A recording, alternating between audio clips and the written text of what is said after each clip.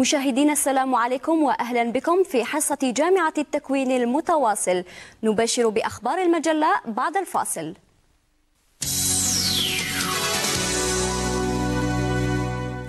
مذكرة نهاية التكوين بين البحث المعرفي الأكاديمي وبناء الشخصية المهنية. كان موضوع الملتقى الذي نظمته المدرسة الوطنية العليا للأساتذة ببوزريعة لتقريب الطالب من عالم الشغل. ابتسام حارش أعدت هذا التقرير. يقوم الطلبة في نهاية مشوارهم الدراسي بإنجاز مذكرة لنهاية الدراسة. لكن كيف يتم اختيار ومعالجة الموضوع؟ وما هي المنهجية التي يتبعها هؤلاء في دراسة الموضوع المختار؟ العديد من المداخلات تعالج قضية مذكرة نهاية التكوين سواء من حيث الشكل أو من حيث المضمون من حيث الآليات التي ينبغي أن يتسلح بها الطالب الباحث. في كيفية تقييم هذه المذكرات في كيفية معالجة المسائل العلمية الأكاديمية التي تعالجها المذكرة. من أجل النظر في مدى نجاعة هذه المذكرات وكيفية تقييمها وتقويمها قامت المدرسة الوطنية العليا للأساتذة ببوزرعة بتنظيم ملتقى وطني حول البحث المعرفي الأكاديمي وبناء الشخصية المهنية. مذكرة التخرج هي بحث مبدئي يقوم به كل طالب في نهاية دراسته. السؤال كيف تقيم أو كيف تقوم المذكرة؟ طبعا لدينا شبكات مختلفة في جامعات مختلفة ولكن مبدئيا في المدرسة العليا للأساتذة بالقبة لدينا شبكة معينة وفقها يتم تقييم أو تقويم مذكرات التخرج لجميع التخصصات الموجودة بالمدرسة العليا. نحاولوا نوجدوا العلاقة بين المرحلة الأكاديمية اللي تلقى فيها الطالب المعلومات وربطها بالمسار المهني شغل هو توقعات المسار المهني كيف يكون سما الطالب يخوض المنهجية اللي راح يلقي بها الطلبة نتاعو. باعتبار إحنا نخرجوا هنايا طلبة أساتذة. من من خلال ممارسة في إعداد مذكرة نهاية التكوين أنه ياخذ خبرة أو ياخذ منهجية كيف يتم التدريس باسكو ما نقدروش نفصلوا بين المرحلة الأكاديمية والمرحلة المهنية.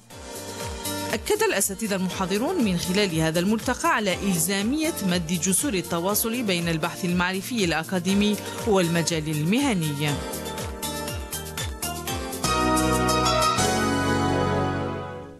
يعتمد طلبة التخصصات العلمية على الكتب التي ترافقهم في دراستهم وتعميق معارفهم خاصة التطبيقية منها. عن الكتاب العلمي تحدثنا فاطمة زهراء عماري. تعتبر الكتب من الوسائل التعليمية التي تلعب دورا أساسيا في ثقافة كل إنسان بل وبناء ثروته المعلوماتية كما أنها الوسيلة التي يشغل بها الشخص أوقات فراغه ويعتمد تصنيفها على نوعية المعلومة أو الفكرة التي يقدمها التي تقصد فيها القراءة من أجل البحث عن معلومة معينة والتي تكون شاملة في معالجتها. وترتب محتوياتها بطريقة يسهل الوصول السريع للمعلومات. فاستطلعنا الطلبة حول هذا النوع من الكتب. كوني طالبة في المجال الطبي أرى أن الكتب العلمية أصبحت بوفرة عكس قديما كانت نادرة وهذا ما جعل للطالب صعوبة في التقدم في دراسته وإيجاد المعلومات التي يحتاج إليها فأنا في أمس الحاجة إلى كتب علمية بالدرجة الأولى التي سوف أستند إليها لاكتساب معلومات واستخراج معلومات خارجية والتي تساعدني في إنجاز إنجاز إنجاز فروضي أو أو كتابة مذكرات تخرج عند عند انتهاء من الدراسة. لي فرص في الدراسة بالإضافة إلى أنه يساعدني في الحصول على معلومات جيدة وأيضا أستعمله في في التخ... في في مذكرة التخرج. الكتب العلمية. المبنية على الحقائق التي يقوم الباحث أو العالم بكتابتها. ويشترط في كتابتها أن تتوفر لديه المهارة في شرح بعض الموضوعات الصعبة بحيث يسهل فهمها من قبل القارئ الجديد للمواضيع العلمية. عن تأليفها ونشرها وإعدادها يحدثنا القائمين على هذا المجال. الطالب العلمي في الطب هو طالب لازم له يش لازم له آه، الذاكرة نتاعو تفورمات يعني تكبر. يعني عنده كاع التخصصات لازم يكونوا المعلومات وكيفاش comment travailler la mémoire. ودرنا آه، بيداغوجية مرافقة. الطالب في الطب تقريبا من سنة ثانية نقول من سنة ثانية ثالثة حتى وين الكونكور دريزيدانا حتى وين يولي طبيب. Après le cours, il y a le intermémo, c'est la forme de fiche de synthèse illustrée dans le cours de, de KB. C'est du résumé dans le cours. Puis on passe au sous-col, c'est des questions-réponses pour tester et évaluer les connaissances. Puis il y a les dossiers. Mes premiers dossiers, c'est des cas cliniques simples. Les cas cliniques simples dans le, la spécialité, la même spécialité. Et puis il y a les dossiers par spécialité de type? À question fermée et normaux. Les dossiers de spécialité, c'est des cas cliniques pour que l'étudiant médecine ou même le médecin résident dans la spécialité il exerce euh, euh, ces dossiers pour une auto-formation. الكتاب العلمي هو ذلك النبراس والدليل الذي يوجه ويساعد الطالب طوال مدة دراسته ويمكنه من فهم الدروس العلمية الدقيقة بمصطلحاتها وخلفياتها العلمية المضبوطة.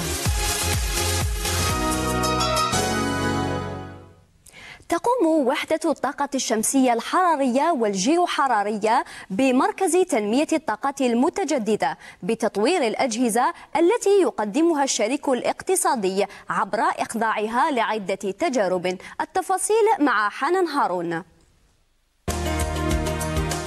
تعد وحدة الطاقة الشمسية الحرارية والجيوحرارية بمركز تطوير الطاقات المتجددة المحطة الوحيدة على المستوى الوطني والتي تقوم بعدة تجارب وتحاليل لمختلف الأجهزة الحرارية التي يأتي بها الشريك الاقتصادي بغية المصادقة عليها.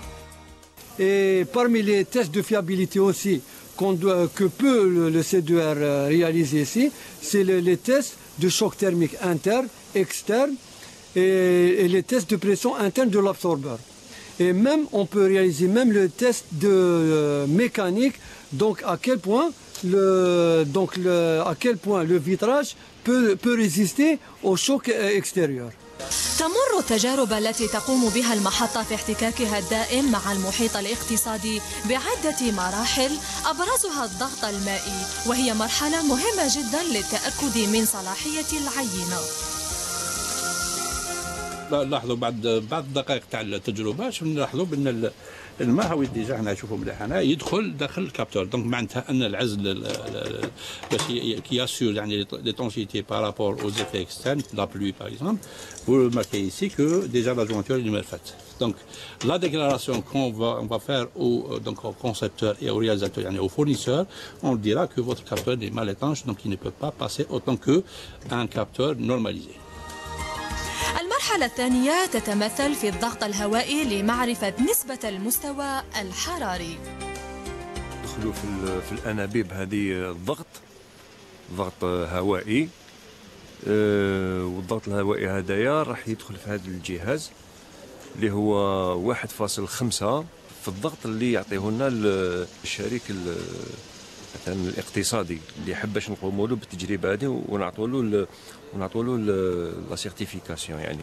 donc حنا مثلا إلا عطانا مثلا ستة يقول لنا هذا يلحق حتى الضغط jusqu'à 6 bars 6 bars حنا نضربوا 6 bars في 1.5 باش نشوفوا إلى في 9 bars يعني يتمكن يقعد يقعد ما يسيكلات pas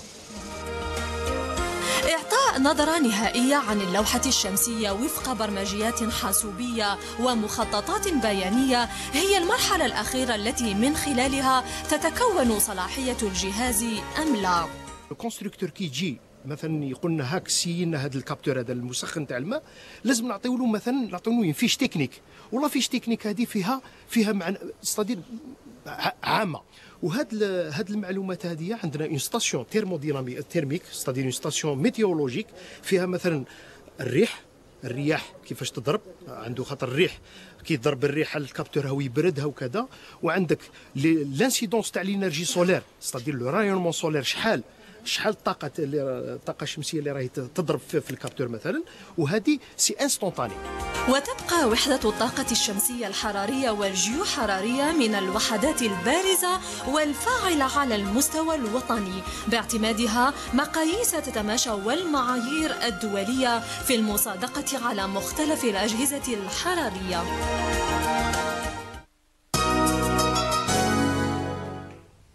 تتأثر المنتجات الصيدلانية بمجموعة من العوامل كالضوء والحرارة والبرودة. لذا يقوم الصيدلانيون بمراقبة هذه الأدوية لضمان جودتها وفعاليتها. تابعوا هذا الروبورتاج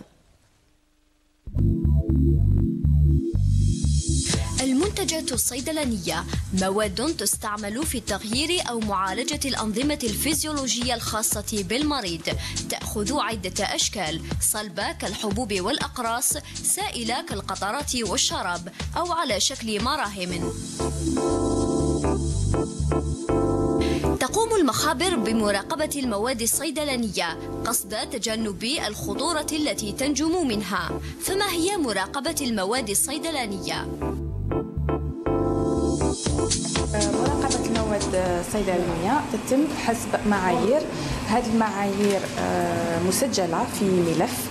هذا الملف يكون مسجل عند وزارة الصحة. لمراقبة هذه المنتجات الصيدلانية يقوم مخبر مراقبة المواد الصيدلانية بمجمع صيدال بعدة خطوات. المخبر تاعنا دوك يقوم بتعيير المواد الأولية اللي تدخل في في تصنيع الدواء. المواد ال intermédiaires donc produits semi-ouvrés وهناك مواد نهائية. ولازم نعلموا باللي ما كان حتى دواء يخرج إلى السوق الوطنية وتناوله المريض بدون مراقبة النوعية للمخبر كل وحدة من وحدات صيدلة. يقوم الكيميائي بأخذ عينة عشوائية من الدواء من آلة التحبيب لإجراء تجارب من أجل مراقبة جودة الدواء لتأتي بعدها مرحلة مراقبة التركيز. نقوم بتحضير محاليل محاليل كيميائية باستعمال les modes opératoires les modes opératoires validés. باستعمال هذه المحاليل نضعها في هذه الآلة. ومنها نستخرج تركيز الدواء المنتج على مستوى مؤسستنا. تأتي المرحلة التالية معدة اصطناعية تقلد معدة الإنسان.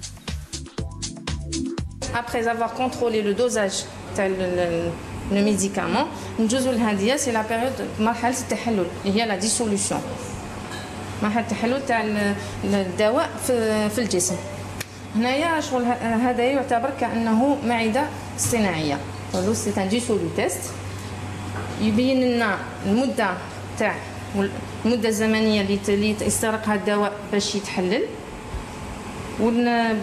بمراقبة درجة الحرارة عندنا دي نومبر دو تور تاع النومبر دو تور كون دوا لي ريسبكتي سولون سولون ان دوسي ان دوسي فارماسيوتيك ناخذ مثال عندنا دواء بارالغون باغ اكزومبل بور ديتيرميني لو دوزاج ديالو اللي باش نعرفوا شحال التركيز ديالو نديرو بمراقبة التركيز باستعمال سبكتروفوتومتر يو في دونك فوالا عندنا ان اوتر بارامتر معيار ثاني نستعملو لو ديسولو تيست باش نعرفوا كمية ومدة زمنية لتحلل هذا الدواء. نراقبوا الشكل تاعو بالعين المجردة. نراقبوا النوعية الميكروب الميكروبيولوجية ديالو. يقوم المخبر بعرض دفتر التسجيل إلى مخبر مراقبة المواد الصيدلانية.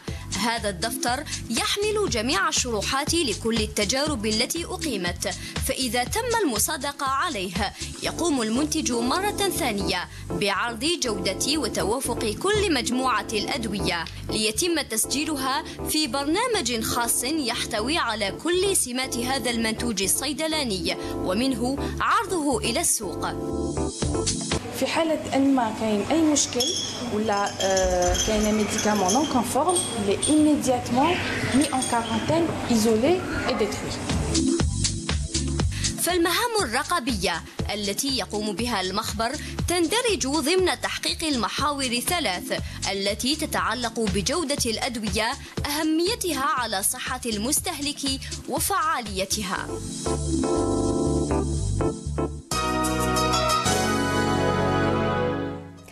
نظم طلبة متطوعون من جامعة هواري بومدين للعلوم والتكنولوجيا حملة للتبرع بالدم وهي بادرة تعد الثانية من نوعها منذ انطلاق السنة الجامعية. ظاهرة بومريجة حضرت جانبا من الحملة وعدت بهذا التقرير.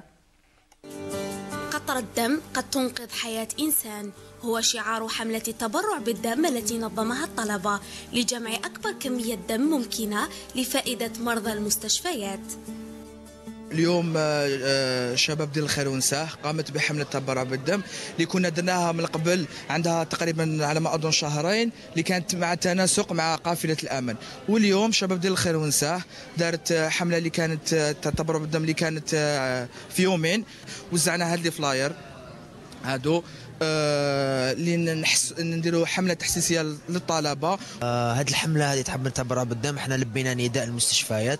اللي قال لك باللي أنا هناك نقص يعني في في البنك تاع الدم. لأن يعني هناك ناس تحتاج لهذا الدم بكمية كبيرة كمية مضاعفة. إحنا يعني كنا بالك همزة أننا وصلنا لكن بما انه أن الأغلبية تاع الطلبة هنا يتفاعلوا مع هذه الحملة تكلنا على ربي وراهي ماشيه الحمد لله.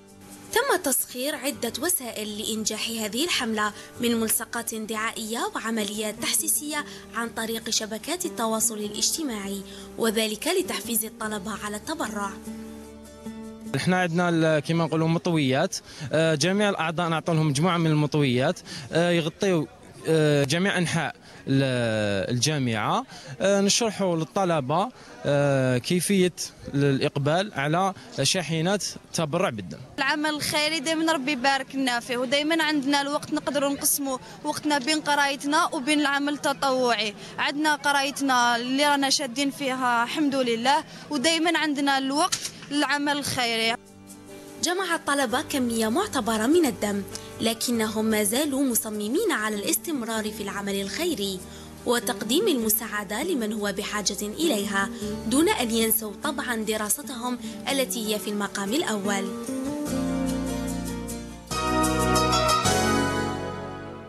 يبقى نشر قيم العمل التطوعي وثقافة التبرع بالدم داخل الجامعات عمل إنساني نبيل مصداقا لقوله تعالى ومن أحياها فكأنما أحيا الناس جميعا نهاية أخبار المجلة متابعة مفيدة مع باقي أركان الحصة. إلى اللقاء.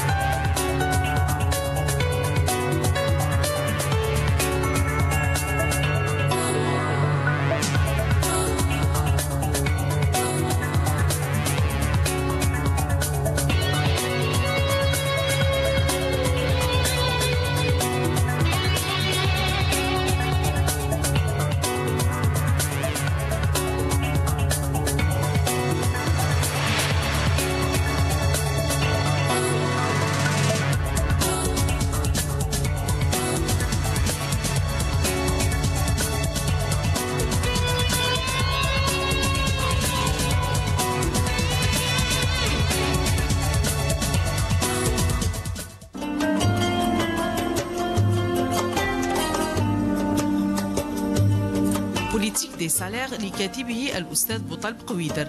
كتاب صادر عن ديوان المطبوعات الجامعية. الكاتب يعمل حاليا كأستاذ في العلوم الاقتصادية بجامعة تلمسان التبو هذا موجه أساسا لطلبة وأساتذة العلوم الاقتصادية ولكل من يرغب في التعرف على سياسة الرواتب.